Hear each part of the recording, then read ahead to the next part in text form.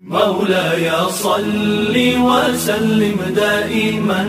ابدا على حبيبك خير الخلق